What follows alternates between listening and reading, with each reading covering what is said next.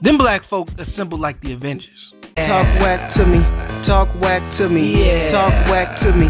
Talk WACC to me. What's up, Wackins?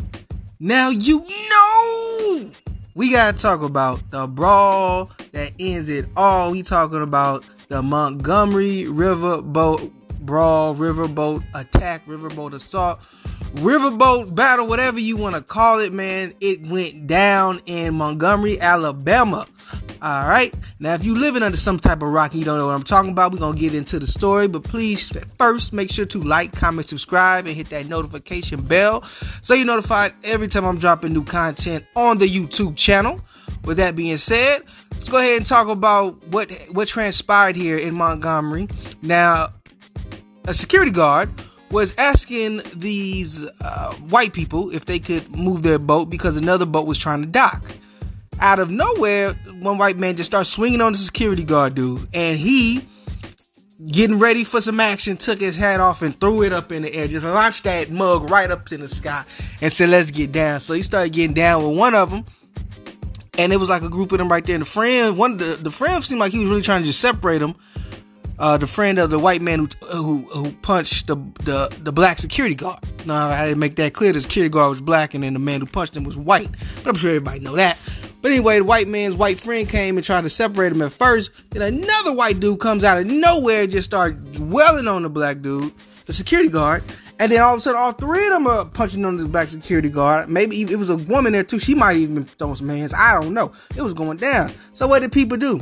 Black people went into action. We had another brother. Uh, we was one of the people on the camera holding one of the cameras that was recording this because everybody had their phones out. You know what it is.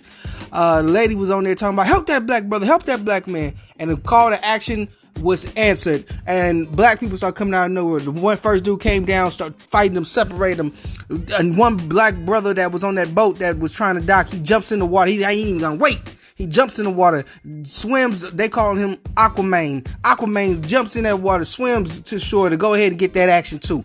All of a sudden, more brothers start coming. You got brothers coming up, ready. They they holding the pans, getting with a fighting stance they proceeded to to whoop on these white people for a good clean minute. I mean, it was crazy. At one point, it, it turned into some WWE wrestling stuff when one dude had a chair and was just bashing people over the head with the chair. He even bashed this little white lady over the head with the chair, Not, and, and she went out. She had just got stumped out herself, her, her damn self.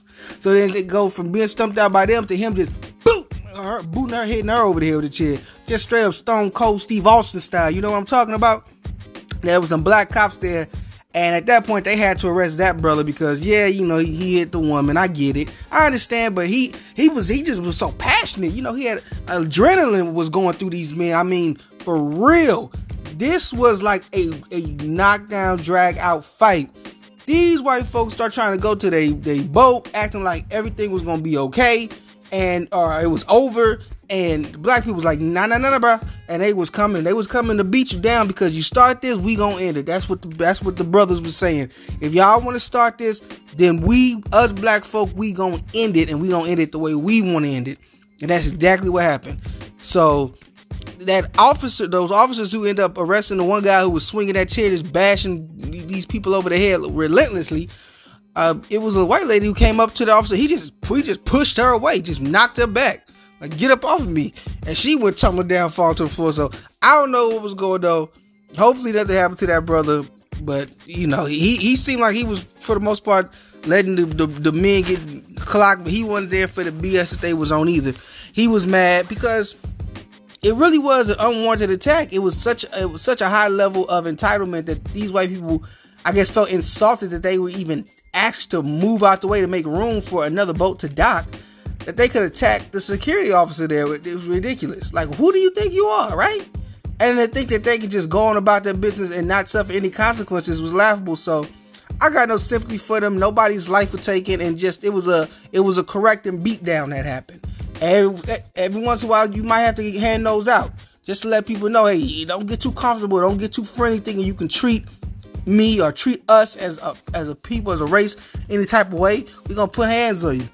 Now, of course, social media has decided they want to go crazy about this. Everybody's commenting on it, calling them the Avengers, calling uh, the one dude, the, the, one boy who swam, who jumped out, out the boat to swim onto the dock to help the, uh, the brother, the security officer. They calling him Aquaman, as I said.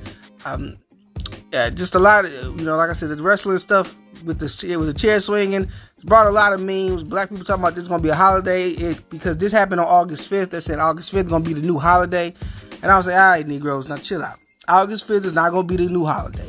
What we need to be doing is not just celebrate this moment for its moment's sake, but looking at the unity of Black people when we come together, and hoping that we can harness that energy, that that same energy that them people on on that uh that, that riverboat dock had that we can have that same energy for other things that we may need, like voting rights, like um, uh, you know, other economic policy, tax, child tax credit, maybe reparations, uh, a lot of stuff that goes on. You know, uh, the police brutality stuff, trying to find a way to you know reform the police, you know, prison reform, all the you know, shoot, even stuff like.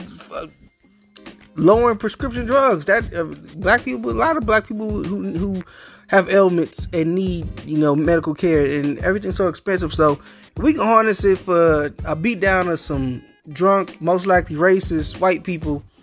Then we can harness that power to, you know, get some actual policy implements and change things. But I don't gonna get too preachy about it. Just, I, you know, it does give hope when I see how people can come together for something. Just, just to defend ourselves from being mistreated uh, from prejudiceness and all that stuff. I don't even know if prejudice prejudiceness is a word, but you know what I'm saying. So yeah, shout out to the people, the Montgomery you guys. Um, I didn't initially think that this was that big a deal because I, I, watched a couple of clips, but once I saw the entire video, I got a little bit more, and so I can see why people are happy about this and celebrating. I'm just waiting to see how they're gonna try to flip this and say that these black people were savages. Nah, F that. They weren't savages. They were standing up for an innocent man, a man who was working, doing his job, being attacked by the real savages. The fools who went ahead and unprovoked, unprovoked attacked a man who was working and just asking them to allow some other people to dock so that they can get off the boat. So that those were the savages, not not not not not that security guard, that black brother security guard, and all those black men and women who came to his defense once they saw that he was being ganged up on for no reason at all. Shout out to them. Uh, but you tell me what y'all think. Y'all, y'all loving this? Y'all celebrating black people go ahead and knocking over some racist heads? Or y'all saying like, oh, this is gonna make us look bad? You're on the fence about it. Either way, you don't really know. Um, are you looking to hopefully, you know, manifest this? And like I said, to, you know, fight for some real change and, and, and action in the, in the black communities across the nation. Let me know in the comment section. Let me know what you're thinking. Um, but I know what I'm thinking is that's what's up. But like I said, let me know what your point of view is. If it's matching mine, different mine, or a little bit in between. Talk WACC to me. Talk WACC to me. Yeah. Talk WACC to me. Talk WACC to me.